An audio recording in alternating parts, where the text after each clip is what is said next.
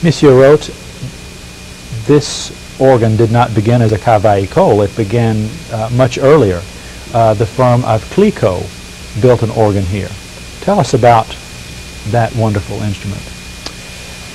Yes, the, the church, this uh, very big church of Saint-Sulpice was uh, built during one century from the middle of the 17th century to the middle of the 18th century.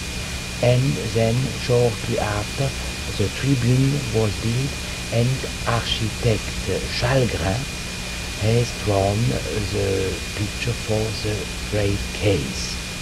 And the most famous organ builder of the time, François-Henri Clicquot, has built the first uh, instrument in this uh, monumental case. An instrument with around 60 stops, five manuals, uh, and with uh, the 32 foot montre on the grand orgue, on the, the manual grand orgue, and these pipes are still, we can see them, they are in front of the case. Uh, we have there the montre 32 foot.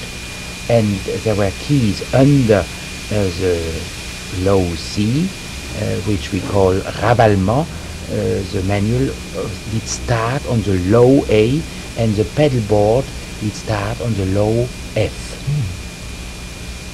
And uh, I think uh, at that time the Clicquot organ was one of the three biggest instruments in France with uh, Cathedral Notre Dame with Saint Martin in Tours.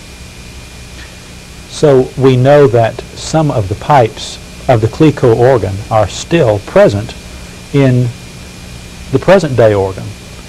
Would you demonstrate some of those sounds that would have been heard by churchgoers?